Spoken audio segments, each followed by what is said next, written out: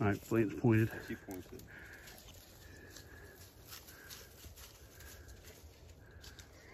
Is it still there? Yeah. Good God, that's a tight holding bird. All right, let me see if I can find this thing. I still don't see it.